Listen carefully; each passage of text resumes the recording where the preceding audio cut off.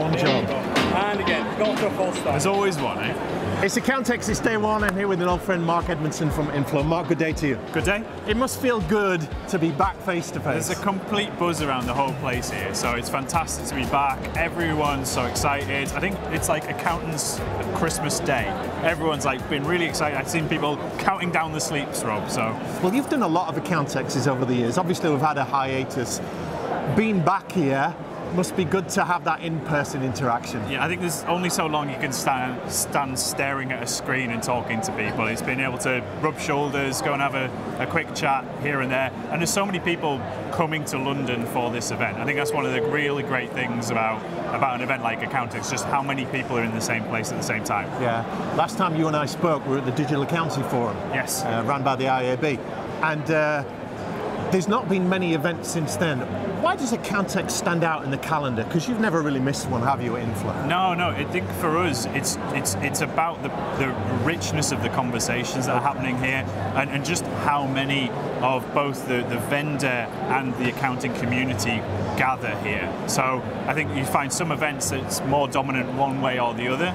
Here, there's just everyone who's everyone is going to be here. And I think it's going to be really great bumping shoulders with other tech vendors out there, trying to explore ways we can work together and, and really catching up with both customers and people who are really at the start of their digital transformation journey. Yeah. Now, you've got the stand, you've got the staff, you've got the swag. It's a big investment. Yeah. How do you go about measuring whether something like this has been successful? It, it's, it's really difficult. I mean, there's obviously some of the direct tangibles where you'll be able to kind of actually quantify people who sign up on the back of events like this. Okay. But the intangibles are, are really difficult to measure, Rob, in terms of you know catching up with customers and just you know building relationships, Yeah. being able to rub shoulders with other vendors that might turn into collaborations or other things. So I think there's, it's very difficult to quantify it. Um, ultimately, it's an investment in the brand, it's an investment in the awareness, and it, it's an it's an effort to make sure that everyone knows who Inflo is and what we do. Yeah. Now, you're not just a uh, purveyor of software, you are a speaker, you have your own thought leadership. You're doing some talks here over the next couple of days, aren't you? Tell us about them. Yeah, so I'm going to be talking about the, the digital audit and the opportunities that are available to firms. Uh, we're very much seeing that opportunity for firms to start to not just buy technology and try and plug it in, but actually recognize that they're really on the back of everything that's happened in the last few years, a real expedition of digital transformation in the accounting sector. We've seen it already happen in the accounting and bookkeeping space. The likes of Sage, Xero, QuickBooks have all really pushed that agenda. Yeah. We're focused on the audit sector, that more, should we say, that more sophisticated compliance space. And I think what we've seen there has been um, an underinvestment over the years by both the firms and the vendors in terms of what firms can use to do audit work. So really the opportunity is here now to elevate the value of audit work, to really recognise some of the challenges, and that's what I'm going to be talking about in my, my, my talk. Well, audit's certainly been under more scrutiny over recent years. We know that. But is it is it sexy? Is it current? Is it vibing with the zeitgeist? Well, is it- interesting? Well, it depends, doesn't it? It depends on how you're actually approaching it. Are Well, you make it interesting. We make it interesting. Yeah. We make it colourful for a start off, anyway. But no, for me, yes, it is. And there's an opportunity there to move from what's been perceived as more of a checklist-orientated compliance exercise that the client sees as somewhat of a burden, Yeah. but it's driven by regulation, Yeah. to actually something which is valuable. How can we use data to automate some of the mundane activities that, being frank, nobody wants to do, and start to elevate the time that auditors spend actually focused on value-adding activities? So visualizations, data insights, benchmarking, all of that stuff completely changes the audit proposition. Yeah. Now you're English, you're here in the UK, but Inflo are a global brand, aren't they? Yes. For people that don't know, tell us what Inflo do. So in in simple terms, Inflo do four things. We, we help firms collaborate. Counting these off Count them now. off. I'm going to do it as well because I'm a, an accountant this- still at heart. And you've done this before, haven't you? Exactly. Number one. Number one, we firstly establish a more uh, collaborative experience to working with the client. So it's client collaboration, it's sharing files, sharing information, Okay. and starting to share data instead of files. Yeah. The second piece, which we're most known for, data analytics. Right. So how can we take data from client accounting systems and produce data analytical techniques which automate something that accountants are already doing? We're trying to replace what they do rather than add more work. The third piece is an audit work papers and methodology approach. So recognizing that data analytics completely changes the way that you can actually approach the audit process, we've built our own proprietary audit methodology and our audit documentation tool, which if you put these things together, starts to really transform the way you audit. And the fourth one, we only released it last month, so this is hot off the press, okay. is our quality management product. So really technical, but in the audit space, auditors need to implement some new systems and processes to support quality management, which is a, a regulation-driven new set of standards, Rob. Yeah. And that's going to be something where people are going to be wrestling with Excel trying to do that. We've built a technology that makes it so much easier and so much quicker. Put those all together, you've got a comprehensive suite. But we've also got the flexibility for firms to be able to bolt on one or two of these pieces to complement what they're already doing. You mentioned data analytics. There's such an overload for accounting practitioners these days. There's so much to keep on top of. How do you help them with that? Well, I think first and foremost is to recognise what the skills and involvement of the accountant we want in a space like data analytics. Right. Because data analytics can mean many things. It's a very broad category. It could, on one extreme end, mean that you're basically manually doing a lot of work in Excel. That could be packaged up as data analytics. Okay. Or you could be using like desktop-based tools where you're going to have to think about reskilling your practice to be data scientists somewhat. They're going to have to be able to extract the data from the client system. They're going to have to be able to transform these horrible formats of data into something that's useful. And then they're going to have to produce all the visualization and analysis.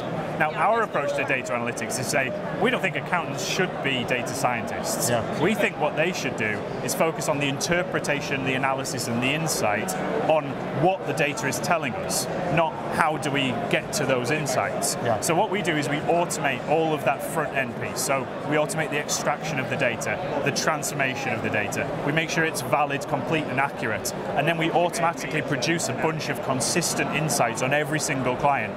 Now, what does that mean? Well, the client and the team don't spend any time at all on all of the pre-work. They jump straight to, well, what does this mean? What is this telling me about this client, the risks involved, or potentially how this compares to other clients? Because now we've got that comparability across them all. Yeah. You sound very passionate about it. It's like you enjoy what you do. It's it's almost like it's a hobby, eh? But I've got to ask you, Mark. There are your competition are in this room. yeah. There are people in here that have elements of what you do, maybe even most of it.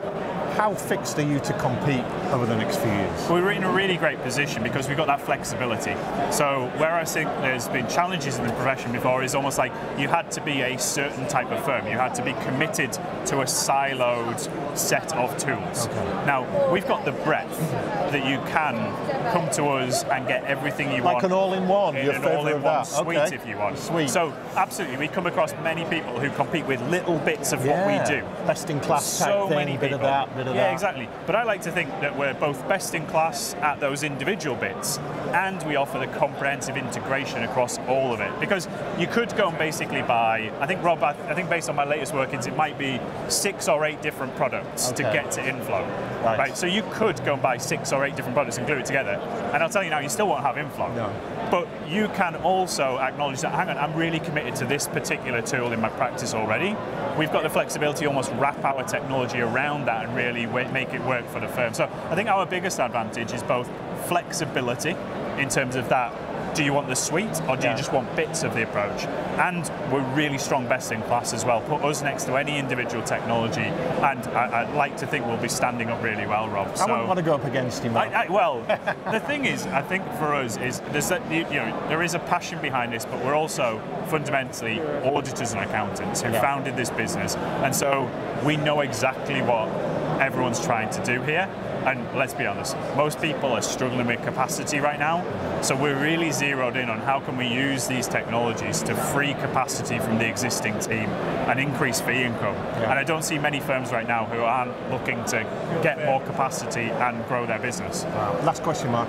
What skills attributes do you feel accounting professionals are going to need over the next few years to be successful, stay competitive? I think for me, Rob, is a real focus, and this is something we're doing um, with the ICAEW as part of the ACA qualification. Okay. Is really trying to embed some of the understanding of how data and data analytics and technology works. They're going to need that skill set. But but the skill set isn't about how to replicate that. I, you know, I use the analogy of I don't know how my engine in my car works, but I know how to drive it. I know how to drive it probably a little bit faster than I should.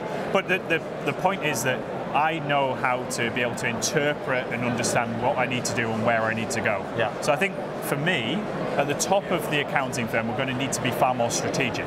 It's no longer about picking this discrete technology or doing this individual move. We need to be thinking as a firm about where are we going in three to five years? And do we have at the top of the firm that perspective of people who've just been in this firm their entire career, or they've actually tapped into you know experts like yourself to give them a broader perspective and to understand what learn what they don't know almost. And the second piece is probably at the lower levels, focusing maybe a little bit less on some of the technical side of things, where we're going to see technology be able to support that more and more, and focus more on I'd, I'd, I'd, say the more emotional skills. So how do we actually communicate clearly with firms? How do we actually proposition better in terms of the way we price and we sell our work. And tell the stories behind the numbers, I, I love the storytelling piece yeah, as well, Rob. I think there's the story behind the numbers is so much more powerful. So, so that's where I see it. I know that many people here at Accountex will be sharing all sorts of different views.